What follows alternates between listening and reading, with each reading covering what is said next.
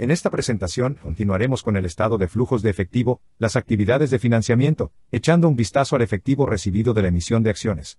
Vamos a utilizar esta información, el balance comparativo, el estado de resultados y la información adicional, centrándonos aquí en el balance general comparativo para hacer esta hoja de trabajo.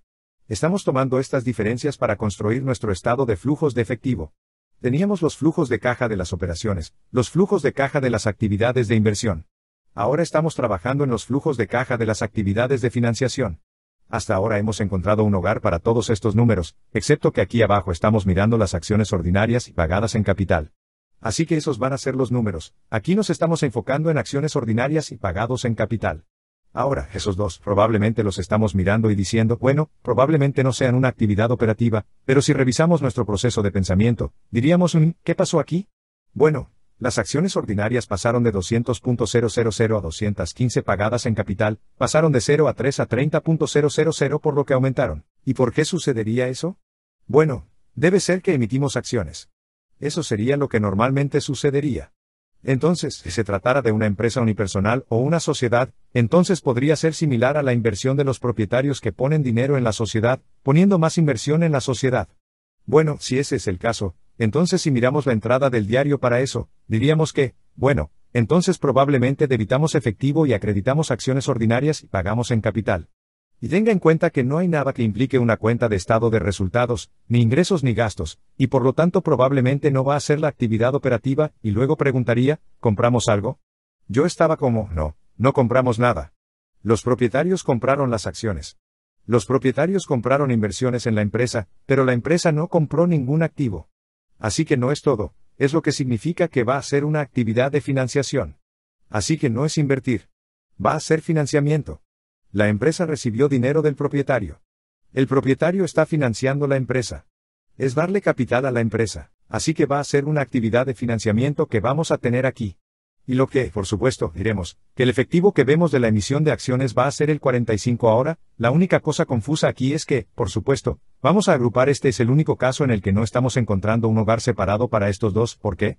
Porque recuerde que cuando emitimos las acciones ordinarias, generalmente las emitimos a valor nominal, y luego debitamos efectivo por lo que obtengamos, y luego acreditamos acciones ordinarias por el valor nominal para que todo sea parejo, y luego acreditamos pagado en capital.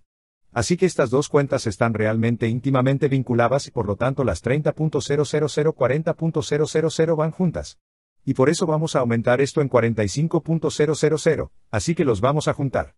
Y pensaríamos que estaríamos bastante bien allí, que esos 45.000 se deben probablemente a la emisión de acciones. Ahora, de nuevo, no emitimos existencias todo el tiempo.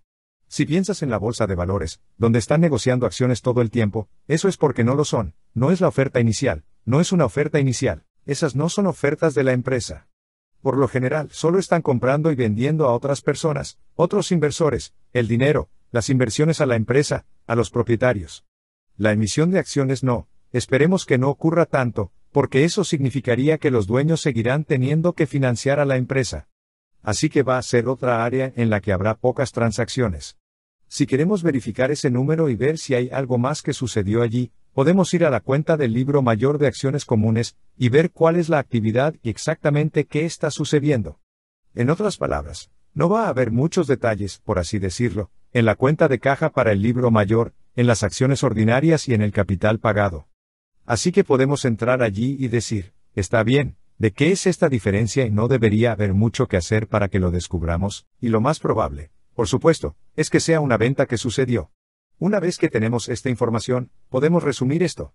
Así que los 5.000, los 22, 5, los 45.000 suman los 72.500, así que lo que tenemos ahora son los flujos de caja de las actividades operativas que trajimos a la columna exterior aquí, resumiendo todo esto, llevándolo a la columna exterior, los flujos de caja de los flujos de caja operativos de la inversión teniendo solo este elemento aquí, así que sacamos eso al exterior, y habrá más partidas cuando hagamos los ajustes, pero luego tenemos los flujos de caja de las actividades de financiación, incluidas estas partidas. Sácalo al exterior. Y luego, si vamos a sumar estos, entonces vamos a decir que las actividades operativas, 51.650, menos el 62.250 más el 725, van a ser los 61.9. Así que eso suma esos 61.9. Recuerden, ese es el que dejamos en paz. Lo pusimos aquí para ver a dónde vamos, y ahora estamos verificando, está bien, eso se ve bien. Y luego lo que realmente. Lo que quiero hacer es volver a este número, porque este es, este es nuestro objetivo final aquí, pero solo se relaciona con nuestra hoja de trabajo. Y queremos que sea muy fácil para los lectores de los estados financieros no atarse. No lo hacen. No queremos obligarlos a hacer cálculos matemáticos para averiguar la diferencia entre estos dos periodos, como podrían hacer con el balance. Básicamente, queremos ponérselo fácil y hacer los cálculos por ellos. Así que vamos a decir, está bien, aquí está el efectivo a principios de año, que es el 61,5. Así que esto, más esto nos da efectivo al final del año. Pulsa este número aquí. Así que este es realmente el número que estamos buscando. Ese es el cambio. Y luego vamos a decir, está bien, volvamos a este número, porque será muy fácil para ellos relacionarlo con el número del balance, que será ese número aquí. Así que este va a ser el proceso completo ahora. Tenga en cuenta que ahora tenemos algo que está en equilibrio al hacer esto, podemos decir, está bien, todo esto funciona.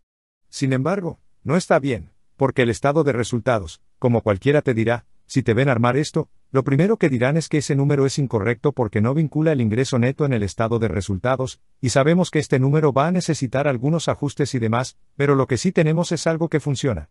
Está en equilibrio, mientras que no lo tendríamos si empezáramos a sacar números del estado de resultados que no se relacionan en absoluto con nuestra hoja de trabajo. Así que lo que queremos hacer ahora es decir, bien, ahora que tenemos algo que funciona, arreglémoslo sistemáticamente, uno por uno, de tal manera que permanezcamos en equilibrio después de cada paso, como lo haríamos si estuviéramos haciendo entradas de diario. Así que usaremos el mismo tipo de proceso de pensamiento de entrada en el diario, doble entrada, tipo de contabilidad para hacer ajustes aquí que, con suerte, nos dejarán en una posición en la que sigamos trabajando, en la que sepamos que estamos en lo correcto.